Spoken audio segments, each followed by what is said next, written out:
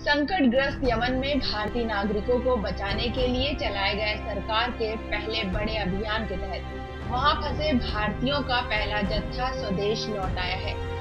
बुधवार देर रात दो विमानों के ज़रिए तीन सौ अट्ठावन भारतीयों को यमन से वापस लाया गया।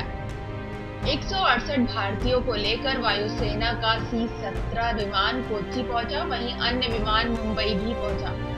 युद्धग्रस्त किसी देश से भारतीयों को वापस लाने के लिए ये सबसे बड़े मिशन में से एक है। वापस आए इन लोगों में नर्सें और श्रमिक भी शामिल हैं।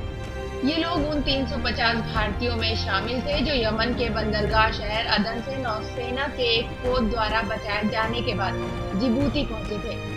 इस बीच केंद्रीय रेलवे ने इन लोगों को उनके गृह नगरों तक पहुँचाने के लिए मुफ़्त यात्रा सुविधा प्रदान करने की पेशकश की है।